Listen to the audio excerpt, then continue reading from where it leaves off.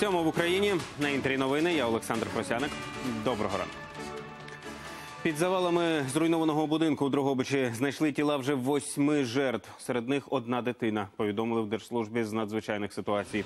Рятувальники продовжують розбирати уламки, адже під ними ще можуть бути люди. Нагадаю, вчора близько третьої ночі в Дрогобичі обвалився один з під'їздів житлової багатоповерхівки. Семеро жителів зазнали серйозних травм. Серед них четверо дітей. Усі вони зараз у лікарні. Спершу в ДСНС припустили, що вибух спричинив витік побутового газу, але після обстеження фахівці цю версію відкинули.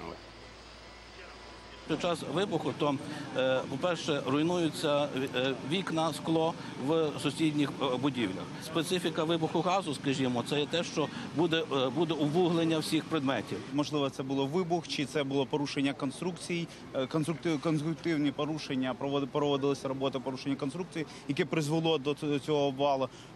Буде вже більш детально, коли відпрацюють слідчі групи. Сьогодні день з пам'яті захисників України. Саме цього дня в Іловайському котлі загинуло найбільше українських бійців за весь час війни на Донбасі. Указ про заснування цієї дати президент Володимир Зеленський підписав 23 серпня. Нагадаю, наприкінці серпня 14-го, після жорстоких боїв, українські армійці потрапили в оточення під Іловайськом. Російські військові обстріляли коридор, яким згідно з домовленостями мали виходити бійці. За офіційними даними генштабу, в боях за Іловайськ у серпні 14-го полягли 220 військових. Безпосередньо під час виходу зеленим коридором 29 серпня загинули 129 армійців, 18 були поранені, 22 зникли безвісти і 10 опинилися у заручниках.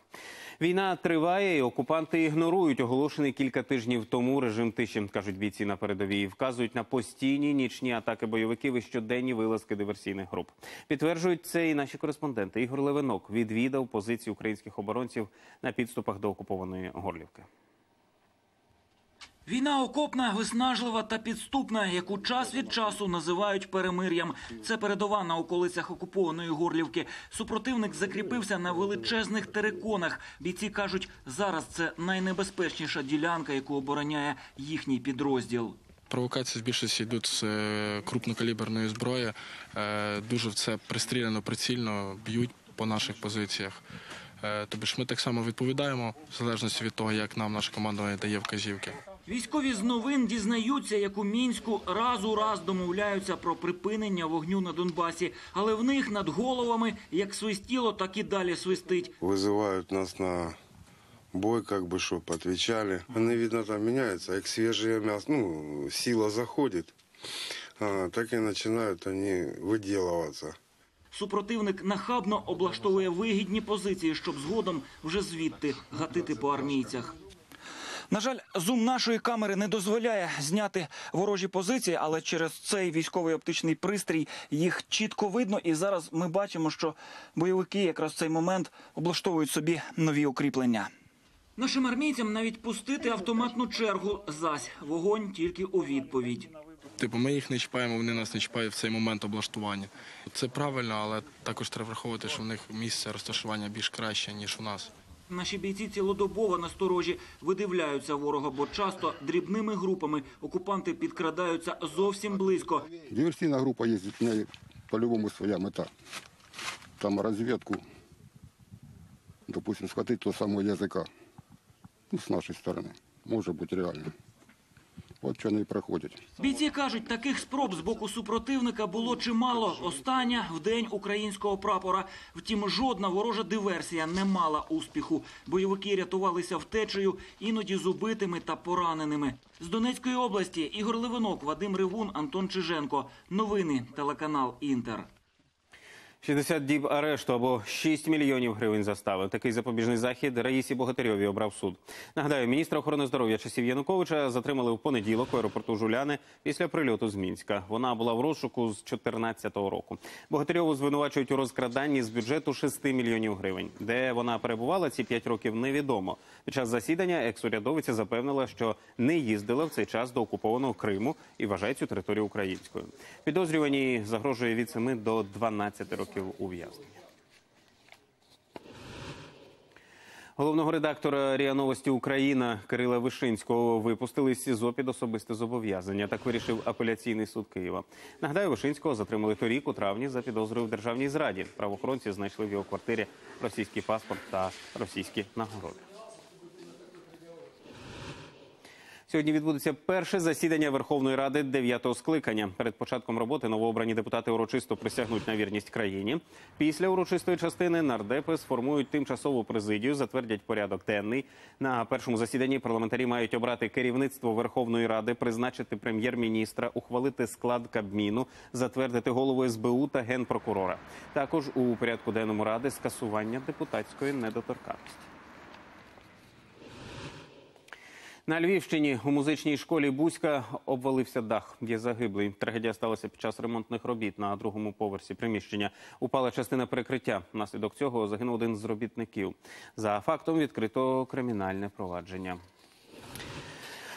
А у Рівному змайстрували бойовий човен стародавніх варягів. На це пішло понад 100 тисяч гривень і три місяці кропіткої роботи. Напередодні вперше історичний корабель спустили на воду. Як усе було, бачили наші кореспонденти.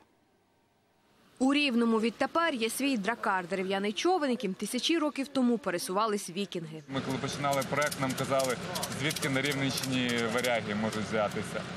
Ну, якщо почитати уважно історію, дуже багато є доказів. Та ж сама підвізка Валькірії, першого Литвою, Молет Одіна. Дерев'яного велетня понад тонну заважки обережно вантажать краном. Історичний човен поважно проїжджає половиною міста на ваговозі. Потім його спускають на води озера Басів Кут. Так, тече трошки. Дракар в перекладі означає корабель дракон. На носі човна кріплять голову дракона, а назвали рівненського дракара міфологічним ім'ям Гунгнір. Гунгнір е, це такий дуже гарний символ насправді. Це спис Одіна. Це спис, який завжди влучає в ціль і завжди повертається в руку свого господаря. 9 метрів завдовжки та 2 завширшки. Щоб збудувати човен, майстри півроку вивчали технології прадавнього суднобудівництва. Понад три місяці ладнали дерев'яні дошки, витесували щоглу. Хистом варягів були приголомшені. Це так званий клінкерний спосіб е, підгону дошки. Тобто дошка йде в нахлест на дошку. Є на нього невеличкий кіль, це йому дає е, стійкість до тримання курсу. Ну, Вони повинні були розсікати великі хвилі. І характерність ця його особливість це цей задраний нос. Це, до речі, сама складна частина в е, цьому човні. Загнути дошки в трьох проекціях. Невдовзі на човен приладнаю щоглу, потім на ній замайорить червоне вітрило. Дракар курсуватиме Басівкутівським водосховищем. У планах авторів проекту змайструвати ще й байдака, на якому понад п'ять століть тому ходили запорізькі козаки. Галина Якушко, Сніжана Сидорук, Микола Василюк. Новини телеканал Інтер Рівне. США запровадили нові санкції проти Ірану. Вони стосуються двох великих компаній та приватних осіб, що на думку американської влади допомагають Тегерану у розробці зброї масового ураження. Напруженість у відносинах між двома державами зросла після того, як торік Вашингтон вийшов з міжнародної ядерної угоди з Ісламською республікою. Штати звинуватили її режим у порушенні договору. Міжнародний чемпіонат із музичного свисту відбувся у місті Пасадена, штат Каліфорнія. До нього долучилися 60 учасників із 11 країн світу. Оцінювали їх як справжніх музикантів за глибину і правильність звучання, за вміння триматися на сцені та контакт зі слухачами. Перемогу здобула виконавиця з Японії.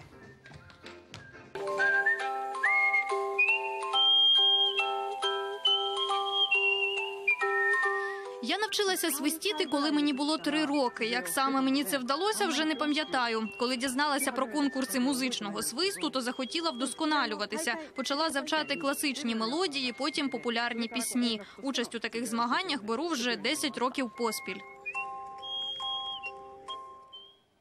У Великій Британії провели змагання зі стрибків на автомобілях. Відчайдухи розганяють машину з трампліна і намагаються пролетіти якомога далі. А головне не перекинутися. Судді також оцінювали те, як стрибок сприймала публіка. Дивом ніхто з учасників серйозних травм не зазнав. Переможець отримав 60 тисяч доларів.